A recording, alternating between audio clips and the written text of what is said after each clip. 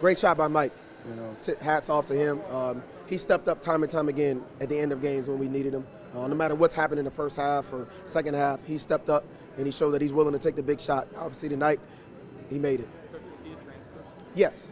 Uh, Tell, so me, tell me his background if you could. Yep. So, uh, Louisiana native, um, started at BRCC Junior College, went to Howard Junior College, and then he attended Southern University where he was just a student for three years. Um, I have a close connection uh, with a friend of his, and uh, I knew he was interested in playing basketball beyond just collegiate, um, and I knew he was a hard worker.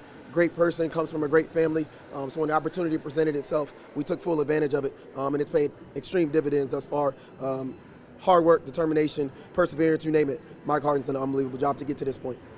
How did you say y'all, y'all, y'all got him? You said actually through a personal connection? Yes. Okay. Yep. Yep. Can you tell me who that was? I'm just curious. Uh, it's just uh, one of his local AAU coaches Oh, that I've known from being in the business for a while now.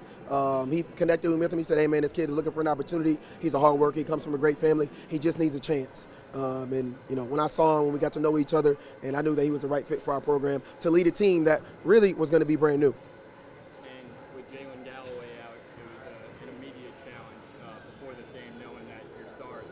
Yep. Uh, crazy story. We didn't know until about 30 minutes before tip-off that he wasn't going to be able to go. Uh, but credit to this team, man. Time and time again, we preach next man up, um, and they've found a way to overcome every single challenge that's been presented to them as a group. Um, to be honest with you, at this point, 10 and 2, we've never had our full team. So today was just another notch of us overcoming adversity, and that's a credit to our guys.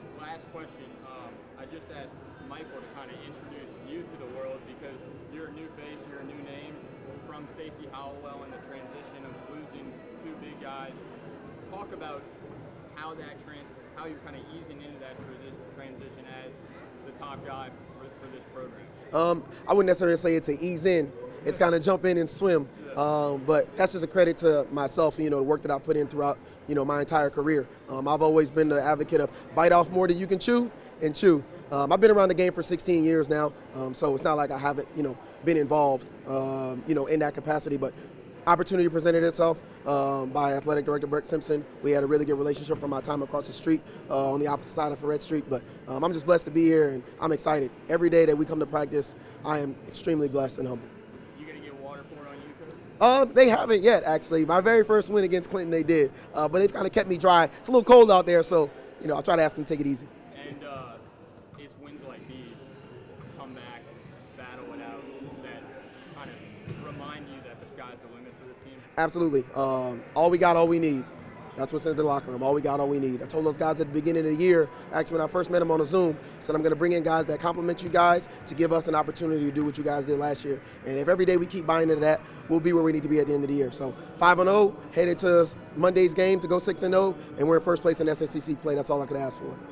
Congratulations. Appreciate it. Thank you. so much.